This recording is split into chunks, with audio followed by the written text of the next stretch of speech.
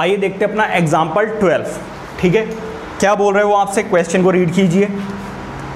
Let A is equal to two comma four comma six comma eight and B is equal to six comma eight comma ten comma twelve अब वो आपसे क्या कह रहे हैं? Find ए union B तो भाई बड़ा ही सिंपल सा है।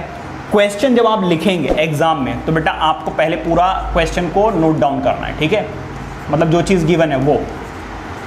एग्ज़ाम की बात कर रहा हूँ, ठीक है? अभी तो आप डायरेक्टली लिख दोगे लिख दोगे तो चलेगा। एक बार ये लिख लिया, अब आपको इनका यूनियन बताना है। ठीक है? यूनियन क्या होता है आपको पता ही है भाई सेट ए और सेट बी के सारे के सारे एलिमेंट्स लिखे जाएँगे और जो कॉमन है उसको सिर्फ़ एक बार लिखा जाएगा। तो यहाँ पर क्या आ जाएगा भाई?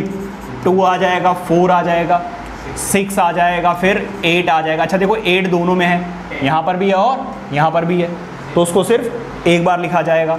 फिर आएगा बेटा टेन और लास्ट में क्या आएगा बेटा ट्वेल्व। बताइए कोई दिक्कत? ये हो गया आपका A union B any problem please note it down